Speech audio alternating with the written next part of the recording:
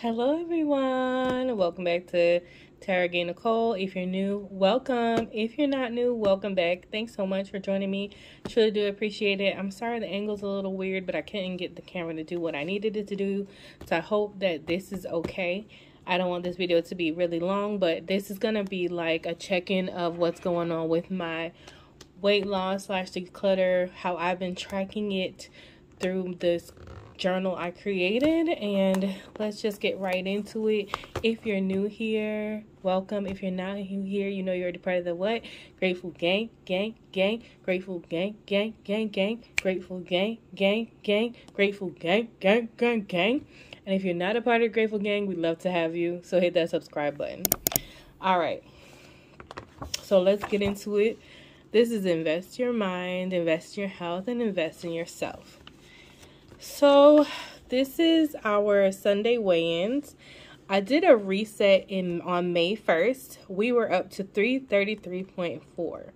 Now, I know this and I have no reason to lie to you. Why would I make myself that weight? That's crazy. Um, but that's what I had weighted on May 1st. It's been a couple weigh-ins later and I weighed in this morning because this morning is June 4th and this is where we, we're resetting again for June. And we're down to 323.8 you all. I lost 9.6 pounds. The goal was 5 pounds and we did 9.6. Yay me. Very happy about that. Next month's goal, which I will weigh in on July 2nd, is another five pounds. And usually weight loss does slow down. So four to five pounds is what I'd like. Five initially will be the main goal. And I'd like to get out of the 320s into the teens and then move our ways into the twos. Okay. So that's where we're at with that weigh in. I still have not measured the thing. Okay. This is supposed to be measured April, May, June. No, I might as well just change the dates up top. I'm sorry, and start again. Um, I don't know. I'm not, I don't know. It's hard to measure myself. So this is my workout tracker that I created. In May and April, I did five days of workout. One, two, three, four, five.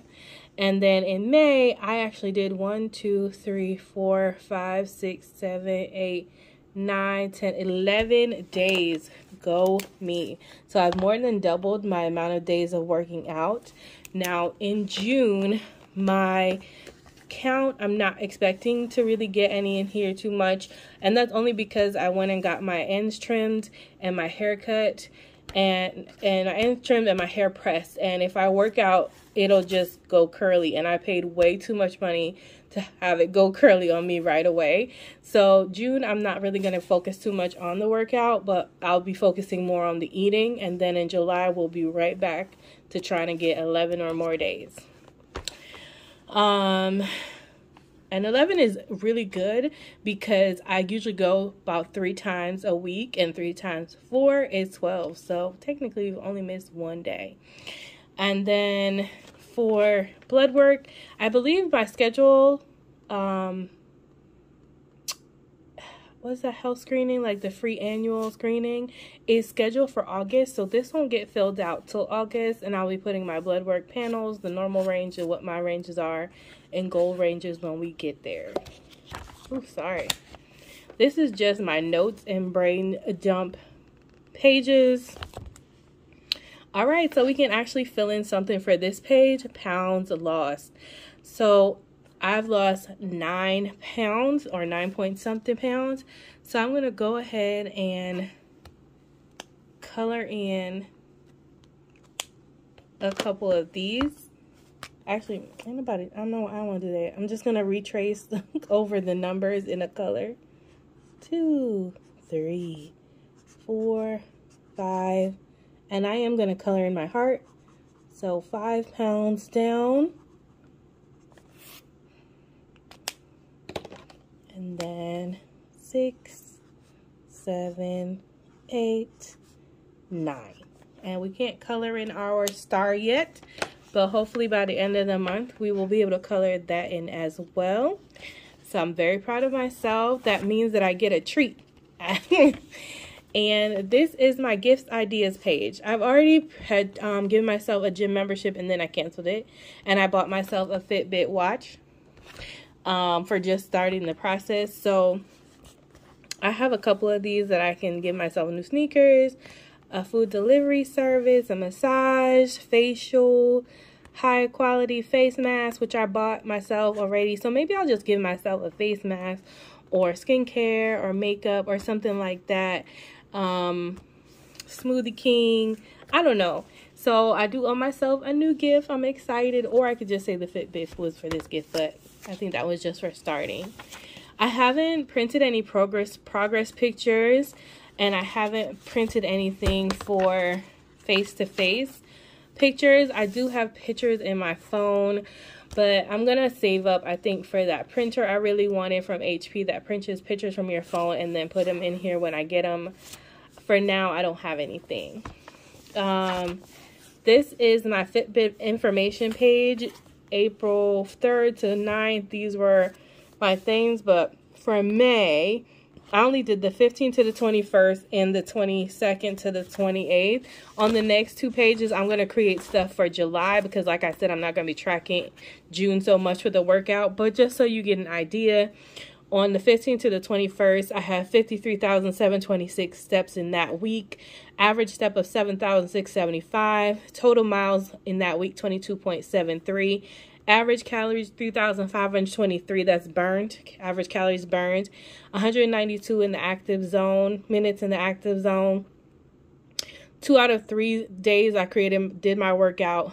An average of seven hours and 19 minutes of sleep. I need to get back to that and then 8 of 11 hours of walking at least 250 steps and my heart rate is a resting heart rate is at 71 which is amazing because when I started this journey my average heart rate was 80 beats per minute and my goal was to get into the 70s so i'm excited about that. Anywhere between 70 and 75 so the last week of may we have 59853 total steps which is more than before.